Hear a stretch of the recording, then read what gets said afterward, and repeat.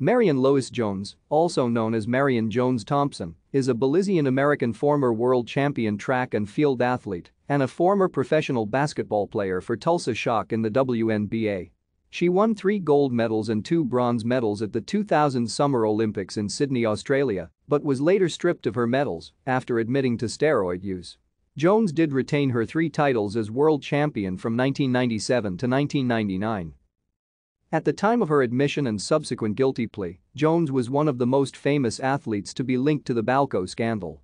The case against Balco covered more than 20 top-level athletes, including Jones' ex-husband, shot putter C.J. Hunter, and 100 meters sprinter Tim Montgomery, the father of Jones' first child. Marion Jones was born to George Jones and his wife, Marion, in Los Angeles, California. She holds dual citizenship with the United States and Belize.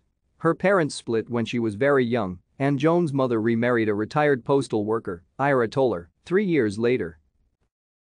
Thank you for watching. Like and subscribe if you would like to view more of our videos. Have a nice day.